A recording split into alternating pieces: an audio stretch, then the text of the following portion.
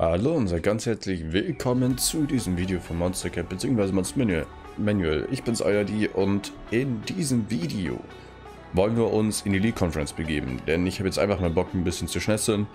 Ihr seht hier auch meine Teams. Das hier sind sie, einmal Hooper mit dem Ultramond Necrosma und wir nehmen dann noch Tapolele. Zweites Team wird sehr wahrscheinlich ein Flugteam sein, da bin ich mir aber noch nicht ganz sicher. Drittes Team wird hier mein Arzt ist zusammen mit den Swords of Justice sein oder die Kyritz mit Kyokre oder eine Mischung. I don't know. Ähm, wir starten einfach mal direkt. Und es gibt sogar in zwei Tagen was zu feiern. Aber wahrscheinlich werde ich es nicht feiern. Da muss man schauen, denn in zwei Tagen gibt es diesen YouTube-Kanal seit genau einem Jahr. Das ist schon richtig krass. Ein Jahr lang jeden Tag äh, Videos hochladen, jeden Tag aufnehmen, jeden oder jede Woche streamen.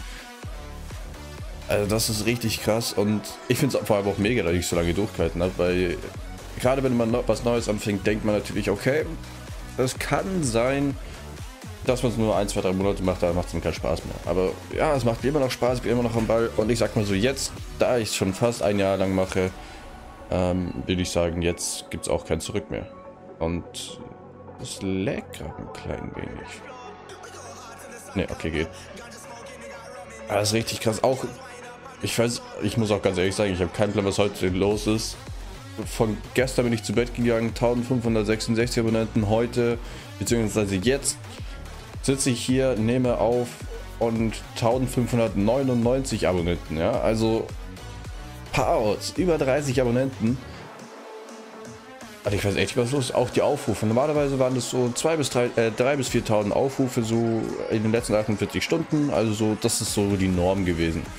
Aber jetzt in den letzten 48 Stunden gab es 8.400 Aufrufe. Also es hat sich einfach mal verdoppelt. Okay, jetzt kommt natürlich auch auf die Videos an, ne? Aber Pouts, also ich, Alter Vater, ich, ich, ja, ich weiß echt nicht, was ich, da, was ich dazu sagen soll. Weil der unser Huber verreckt gerade. Okay, doch nicht. Es lebt noch, aber leider verreckt das jetzt gleich.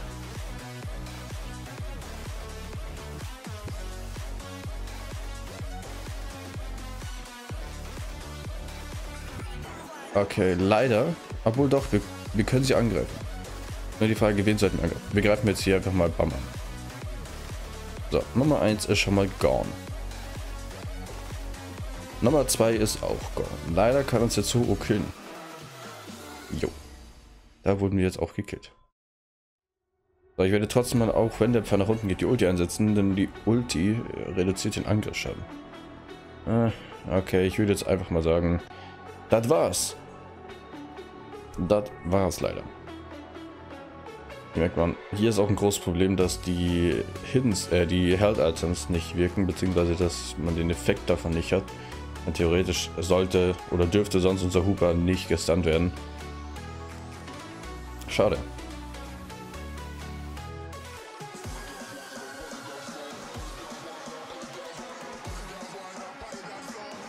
Ja, sobald wir unser Ultra Multicross mal haben, dann wird uns ja wir sind so schnell keiner mehr besiegen können.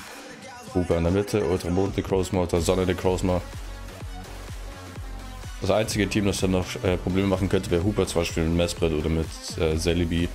Äh, so dass es gleich am Anfang äh, die Ulti einsetzen kann. Aber sobald wir die überlebt haben, ist der Rest ein Kinderspiel. Da seht ihr jetzt auch hier Kyrens. Easy. Easy.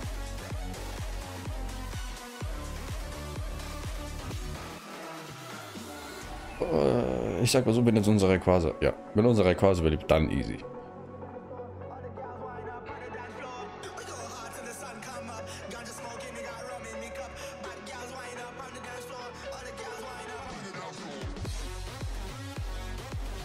Bam. Okay, jetzt steht es 1-1. Jetzt entscheidet das letzte Team. Und ich glaube, ich, haben wir Arzus mit den Kyrens oder Arzus mit den Swords of äh, mit der Sacrifice? Oh, mit den Kyren. Oh, das wird jetzt interessant. Er hat leider Tabukoko. Hier wären vielleicht die Swords of Justice besser gewesen.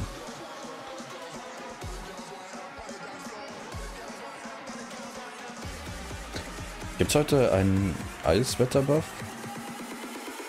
Kann es sein? Denn hier steht überall permanent. Und bei diesem Eisstrahl meine ich.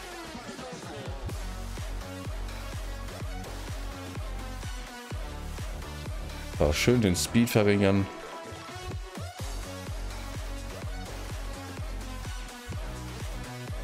Er ist clever, geht erstmal auf Arzeus. Danke dir. Okay, er weiß natürlich, mit Double Coco wird die Curens relativ schnell loswerden.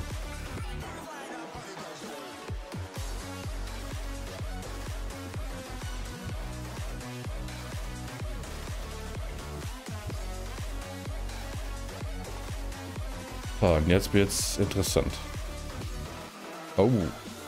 Der Kampf war sogar echt knapp, muss man sagen. Aber wir haben es geschafft. 2 zu 1 für uns. Ich denke, da sprechen wir für unsere Teams.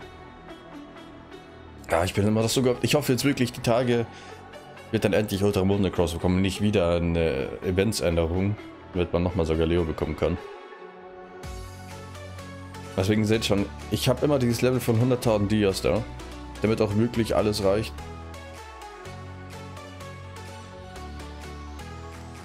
Und das wäre schon echt ein bisschen bitter, wenn wir dann, was weiß ich, 298 Shards haben und dann haben wir keine Dias mehr. So, jetzt setzen wir mal die Swords of Justice ein. Ah, Hellground. Okay, jetzt sehe ich es gerade. Es gibt sogar ein Wetter.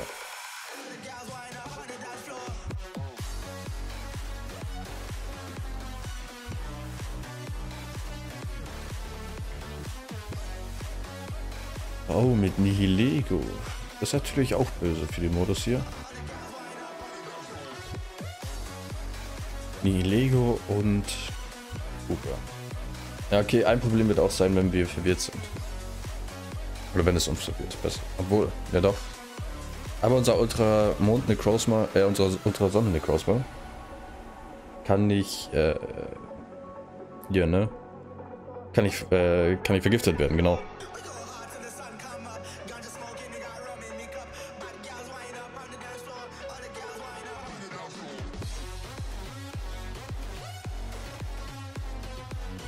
Man sieht auch schon, er hat schon, sag jetzt mal, ein bisschen Schiss. Er geht nämlich auf Ultra, Ultramond, äh, Ultrasonne Necrosma.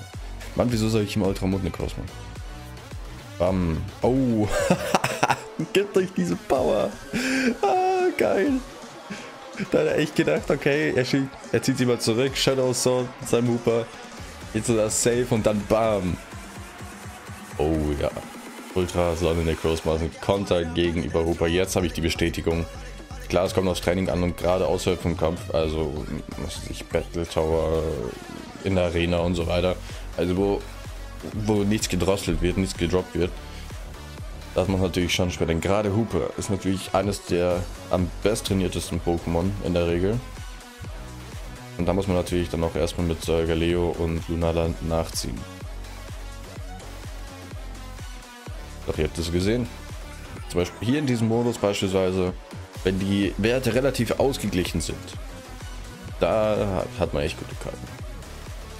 Aber jetzt hatten wir schon Wild Series, da ist ganz klar gekommen, ein Gegner mit 7 Millionen besiegt. Wir hatten den Battle Tower, da, ja, ich muss ganz ehrlich sagen, da hat es mich nicht ganz überzeugt. Da waren die Werte schon ein bisschen low. Also die Steigerung war ein bisschen low. Dann haben wir jetzt hier League Conference, da kann es ganz gut durchrasieren. Wurmloch mh, noch nicht ganz. Es ist ein an und für sich von Vorteil aufgrund seines Stahltyps ähm, gegen Pokémon, die vergiften. Jetzt wäre es natürlich gut, wenn hier so eine Giftmeter wäre, ja. Also wenn jetzt viele Nihilego haben oder auch das neue, diese neue Gift Ultra Bestie, dann wäre es natürlich richtig Bombe. Aber auch gegen Hooper kann man es einsetzen. Weil abgesehen davon, dass es so einschüchternd wirkt, wenn es hier kommt und diese fette Aura und ne,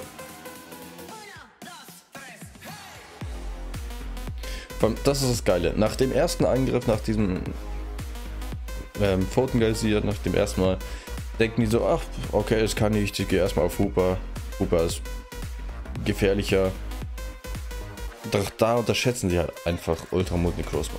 Ja, Ultramond sehe ich schon, Ultrasonne. Ihr seht schon, wie gehypt ich auf Ultramond Necrosma bin. Ich sag auch die ganze Zeit Ultramond Necrosma.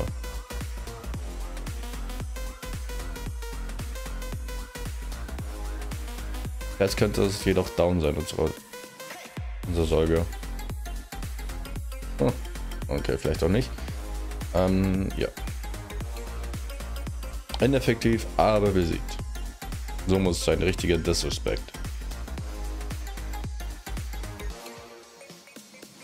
Aber man muss echt sagen, was wie heißt der Elston Dubs? Respekt, Stufe 86 und solche Pokémon. Äh, davon konnte ich nur träumen, als ich auf dem Level war. Okay, die gab es auch noch nicht, aber, ne, ihr wisst, was ich meine.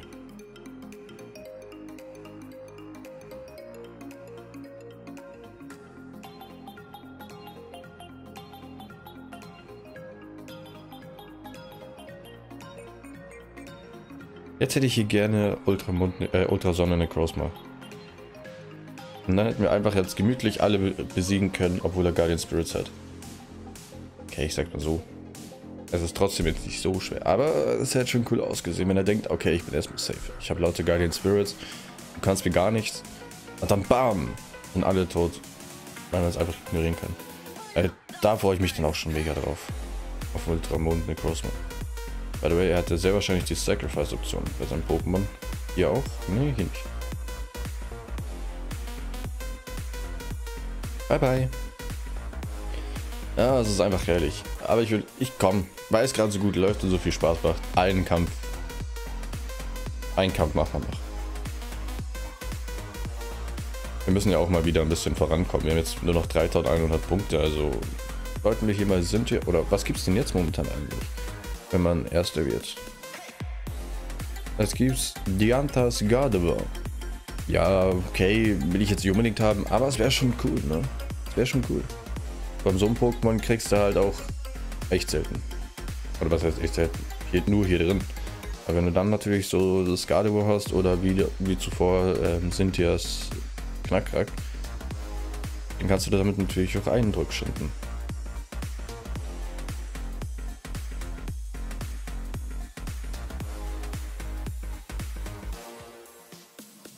Aber jetzt bin ich gespannt. Letzter Kampf können wir auch hier siegreich. Ah, ah, das wird jetzt wieder schwer. Das wird jetzt wieder, echt wieder schwer.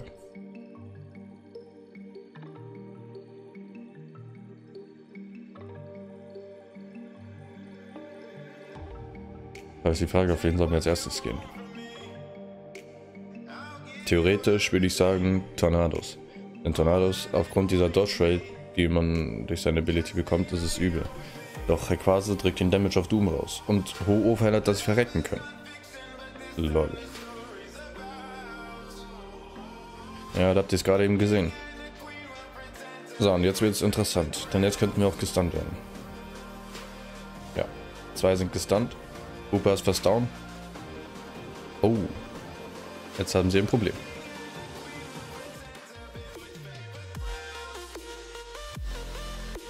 Verdammt, jetzt haben wir ein Problem. Oh, hat er clever gemacht. Nicht ah, Okay, wir sind nicht. Jetzt versuche ich einfach Ho zu droppen. Er wird sehr wahrscheinlich mit der Ulti auf unser Säugerleo gehen. Jawohl, aber weiß, was down ist, konnte er jetzt nicht mehr so viel heilen. Leider sage ich jetzt mal so, wir schaffen den Kampf wieder nicht. Also Ulti einsetzen.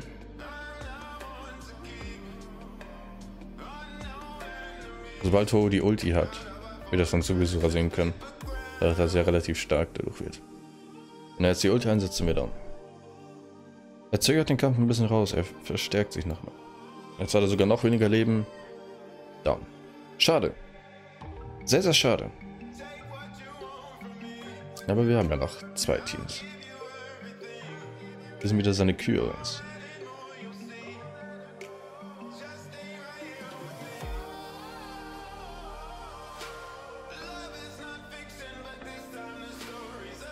Mal schauen, ob er das Rematch gewinnt.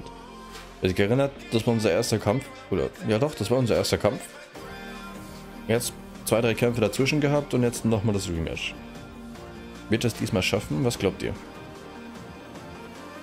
Jetzt haben wir ja nicht unsere Kürens mit, zusammen mit unserem Arzt, sondern die Swords of Justice. Also, ob das jetzt die gute, eine gute Wahl war oder nicht, ist jetzt die Frage.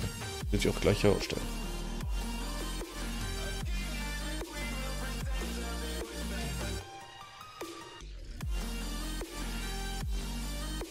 Das Gute ist, unser Ho hat auch noch die Ability. Ihr seht es hier unten an dem Zeichen, hier an dem. Bam, bam. Das hier ist die Ability. Nee, das... Warte, doch. Das müsste die Ability sein. Die Ulti haben wir noch nicht eingesetzt. Und dadurch könnten wir uns nochmal wiederbeleben. Okay. Jetzt steht das 1-1. Der letzte Kampf.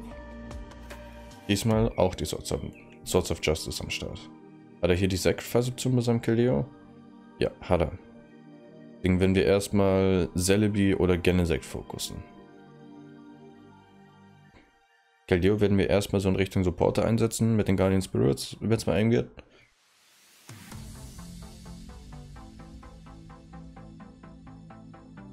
Hm. Oder sollten wir erstmal seinen Damage-Dealer loswerden? Ich glaube erstmal Genesect den Damage-Dealer loswerden.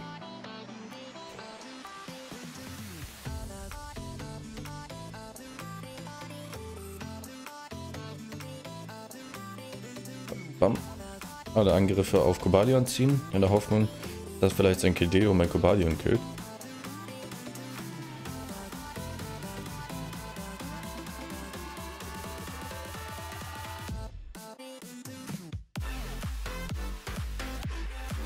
Wow, Dead Damage. Dead Damage. So viel Damage habe ich jetzt echt nicht gerechnet. Genesec down. Nächstes auf Celebi. Denn ich sag mal so, ein Celebi wird zwar jetzt nicht so gefährlich, ne? aber ich will es trotzdem nicht geboostet haben, denn im schlimmsten Fall schaffen wir den Kampf nicht mehr.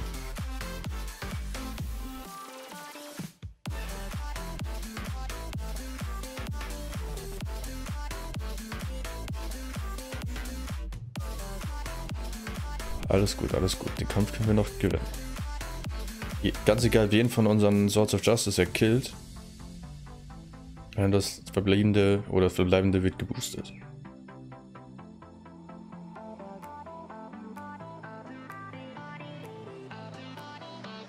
Celebi gestunt, dann können wir hier mal ein bisschen aufladen. Oder ein bisschen heilen, besser gesagt. So. Und jetzt wird es interessant. Genau, weil jetzt ist sein Keldeo. Seht ihr die Werte? Gegen mein Keldeo, das geboostet ist. Jetzt kommt es, würde ich auch mal sagen. Okay, ich würde gerade sagen, es kommt auf Timing an, aber. GG! Ich würde sagen, es war ein schöner Abschlusskampf. Ich habe euch ja gesagt, die Videos, oder heute wird zumindest ein Video länger. 18 Minuten ist eine angenehme Zeit. Und ja, jetzt bedanke ich mich recht herzlich fürs Zuschauen. Ich hoffe, euch hat es gefallen und wir sehen uns. Bis dann.